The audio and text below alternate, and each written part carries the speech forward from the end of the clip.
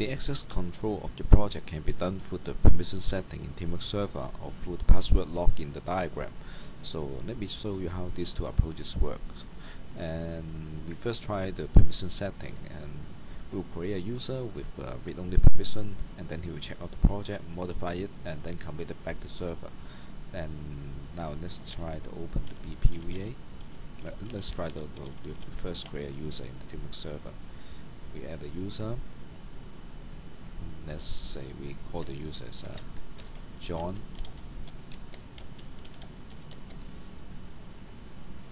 And you can see there's a permission box in here. This is only for the controlling the administrative permission of the user and which is not that specific to the project we, we are working on so we just ignore it.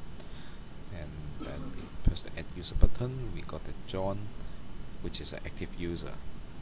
Now we go to the project tab and create a new project. Name the project as uh, travel booking and then we import an existing project file. And we select John as a read-only user. And add project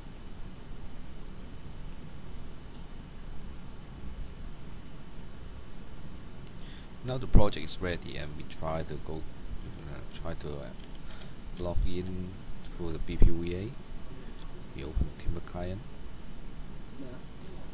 log in. With uh, John? And then we press OK and we add the project to travel booking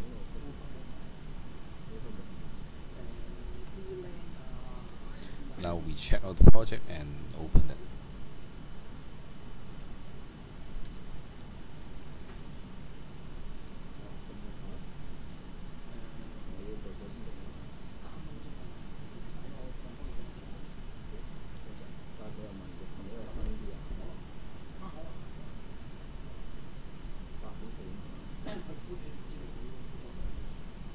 now we try to modify a task in the, in the diagram.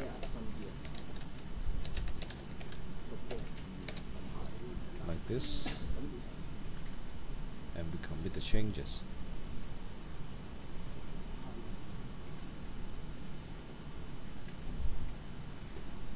Now you will see it, uh, it that the user didn't have the permission to commit. So through the permission in the server you can protect your diagram uh, not being modified by other user. So um, now let's try to let's go back to the PowerPoint. Okay now we will try to use the password lock in the diagram. We will create a new user with a read write permission and we'll also grant the write permission to John the existing user after that the new user will check out the project and lock the lock diagram with the password lock and commit back. And after that John will update the project from server. So just like he's uh, it, it is actually the same to check out the project which already locked it.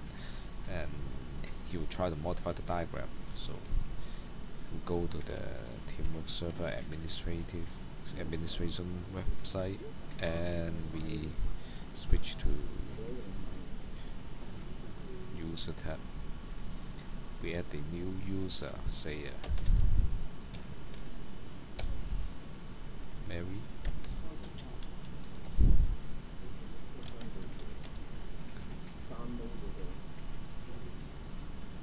And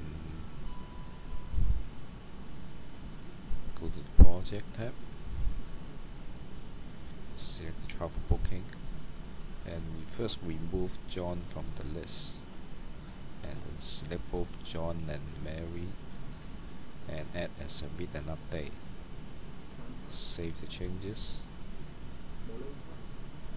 So now you will see both John and Mary uh, got the read and update permission to this to this project.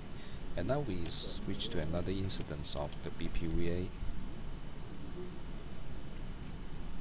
so this one will simulate the login of uh, Mary now she will open the Teamwork client.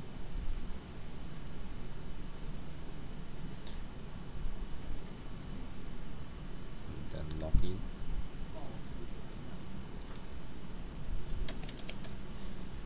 In as Mary. And uh, she'll add the project. It's travel booking. Press OK check out and open the project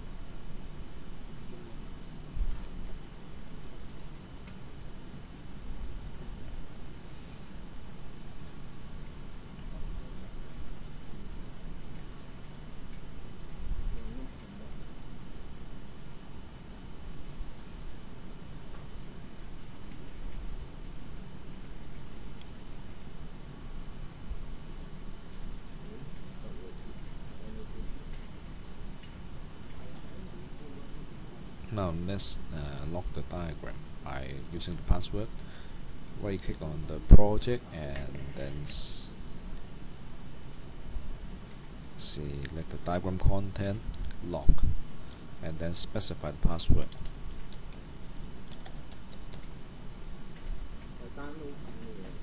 Now commit it back to server.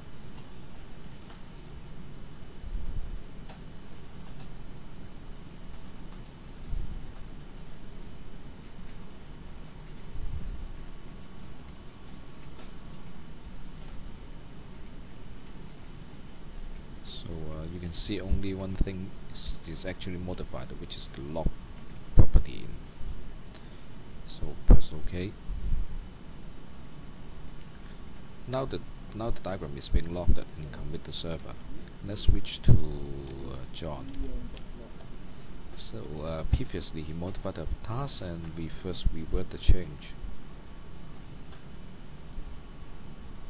So now it is back to the the very very beginning stage. Now he update this project from server.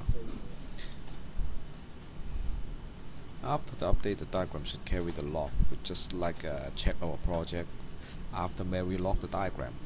Now let's try to modify the di modify the diagram by uh, move the task a little bit on the right.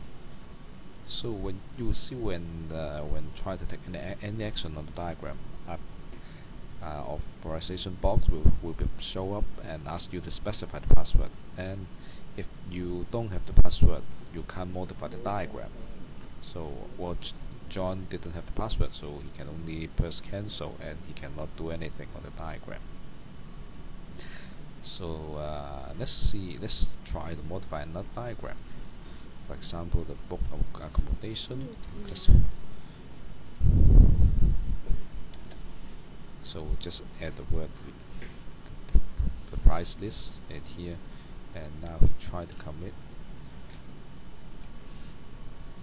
You can see John can commit the changes because the the diagram book accommodation is not being locked. So with the password lock you can fine tune the permission on the diagram base. So uh, only the authorized person can work on specific diagram